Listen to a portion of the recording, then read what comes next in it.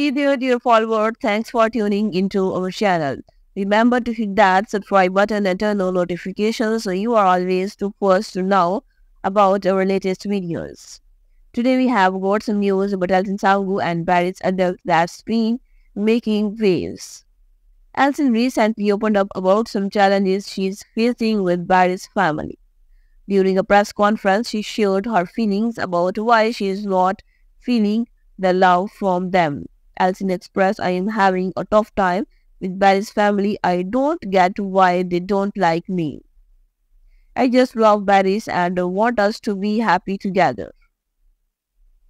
Her words really catch everyone's attention, sparking a lot of curiosity about their relationship with Barış family. While we have not heard from Barış family yet, Elçin's words have been buzzing all over social media. Many fans are spending their support, hoping this uh, won't cause trouble between the couple. Elçin's honesty shows the challenges they are facing as getting along with your partner's family is an important part of any relationship. But it seems like these problems are making things tough for them.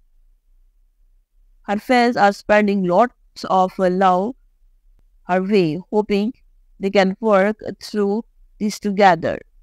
Elçin's words shed light on the struggles they are going through, and her openness might be the first step in finding a solution.